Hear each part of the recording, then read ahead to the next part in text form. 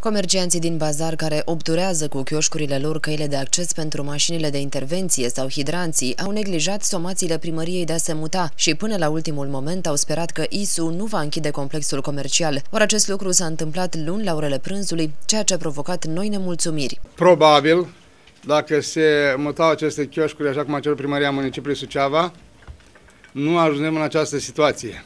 Deși, din ceea ce știu, din cele 150 de chioșcuri, 60 de proprietari de acolo și-au dat acordul să se mute, pe ultima sută s-au răzgândit să zic, hai, nu ne mutăm niciunul, să nu fim spărgători de mutare, nu știu dacă e corectă exprimarea, și să vedem ce se întâmplă. Iată ce s-a întâmplat, a venit ISO și a suspendat activitatea din bazar. Redeschiderea bazarului se va face numai după ce Inspectoratul pentru Situații de Urgență își va da avizul. Asta implică mai multe cerințe care trebuie îndeplinite. Am convenit că în măsura în care sunt îndeplinite o serie de uh, reglementări de acolo, în primul rând, să facem acces în bazar mașinilor ISU și acest lucru nu se poate face decât prin uh, mutarea celor 150 de chioșcuri, prin reamplasarea altor chioșcuri, că mai sunt și asemenea trebuie mutate cu jumătate de metru, prin eliberarea căilor de acces la hidranți, eliberarea hidranților care sunt blocați de multe ori de aceste chioșcuri, prin simulările de funcționare a hidranților de acolo, prin înlăturarea unor improvizații la instalații electrice care încă mai sunt, deși mare parte au fost eliminate, prin respectarea locurilor de fumat și, în ultimul rând, o nouă condiție impusă uh, este legată de separarea bazarului public de bazarul privat. Și tocmai de aceea, în ședința Consiliului Local de astăzi, de îndată, am pus un proiect și în acest sens cu o rectificare a unei sume de bani pentru a face urgent un gard.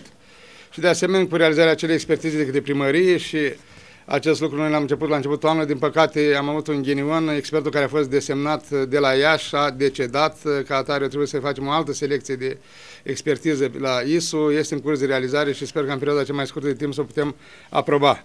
De altfel, în cadrul unei ședințe de Consiliul Local de îndată, consilierii locale au votat construirea de către primărie a gardului care să despartă bazarul public de cel privat. Pe de altă parte, în ceea ce privește școlile din municipiul Suceava, din 43 de unități de învățământ, 3 au autorizație de la pompieri. Este vorba despre grădinițele 1, 2, 3, Așchiuță și Gulliver. Totuși, această statistică nu trebuie să alarmeze populația, spune primarul Ion Lungu, pentru că este vorba despre construcții vechi, la care nu s-au făcut modificări, iar legislația de la vremea respectivă nu cerea această autorizație.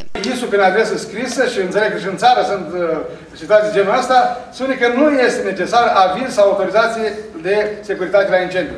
Sigur că ultimul cuvânt aici la ISU, iar acum probabil se va uh, perfecta legislația, se vor aduce modificări în legislație, să clarifice lucrurile. Mulțumesc. Să vedem ce se poate face ca să se intre în legalitate din acest punct de vedere la școli vor trebui necesare niște fonduri, trebuie făcute niște lucrări, trebuie făcute niște instalații.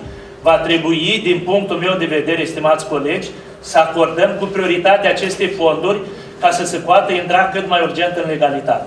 Eu știu că este un minim plan care este afișat de evacuare în caz de incendiu, de, mă rog, cum spune azi, de securitate la incendiu uh, și cred că, mă, iar spun, vidul ăsta de legislație va fi corectat și vor face controle cei de la ISU, iar eu sunt de acord cu dumneavoastră în măsura în care sunt necesare fonduri să uh, le punem în aplicare. Nu știu dacă o școală e consideră acum 20 de ani și atunci oamenii erau mai profesioniști, chiar dacă se sau nu. Era făcută cu aviz de PSI. Nu cred că azi ar trebui făcute alte minuni acolo, dar trebuie să fie acel Bun, scenariu de securitate la incendiu, de securitate la incendiu, de intervenție, de evacuare. Să vedem.